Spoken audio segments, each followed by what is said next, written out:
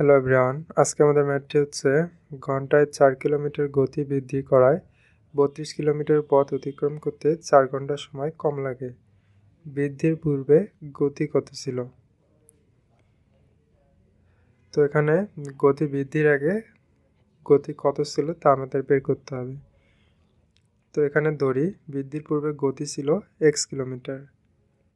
এখন এখানে বলছে, বত্রিশ কিলোমিটার পথ অতিক্রম করে।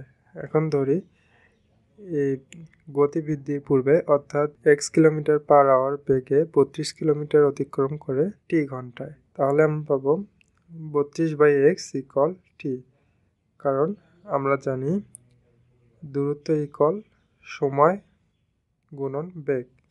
তো আমরা যদি সময় বের করতে চাই, তাহলে সময় ইকল হবে দূরত্ব বাই বেগ। তো এখানে আমাদের সময় হচ্ছে টি দূরত্ব হচ্ছে বত্রিশ কিলোমিটার এবং এক্স হচ্ছে বেগ। এরপর বলছে ঘন্টায় চার কিলোমিটার গতি বৃদ্ধি করায়। অর্থাৎ আমাদের গতি ছিল এক্স এখন তা বেড়ে হবে এক্স প্লাস ফোর বত্রিশ কিলোমিটার পথ অতিক্রম করতে চার ঘণ্টার সময় কম লাগে। অর্থাৎ আমাদের আগে সময় লাগতো টি এখন সময় লাগতেছে টি মাইনাস ফোর তাহলে আমরা পাবো বত্রিশ by x plus four equal T minus four কারণ এই সময় আমাদের বেগ হচ্ছে এক্স প্লাস ফোর অর্থাৎ দূরত্ব বাই বেগ ইকুয়াল সময় হচ্ছে টি মাইনাস ফোর তাহলে এটি হচ্ছে আমাদের এক নম্বর সমীকরণ এবং এটি হচ্ছে আমাদের দুই নম্বর সমীকরণ।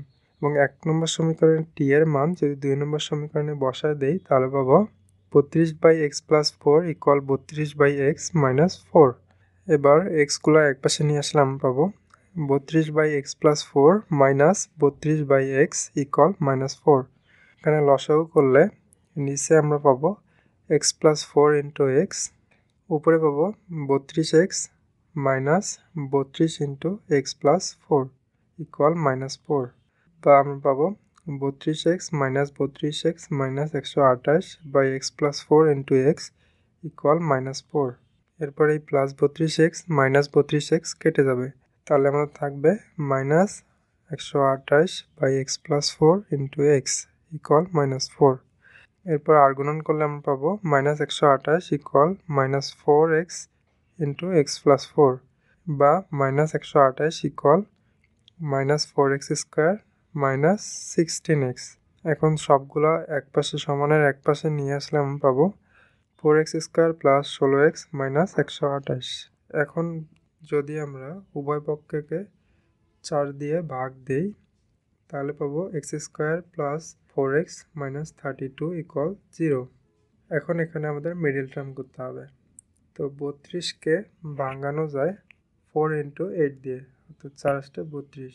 এখন আট থেকে চার বিয়োগ করলে আমরা পাবো ফোর এক্স তাহলে আমরা লিখতে পারি x square plus eight x minus four x minus thirty two equal zero eight x থেকে ফোর এক্স বাদ দিলে আমাদের ফোর এক্স হচ্ছে।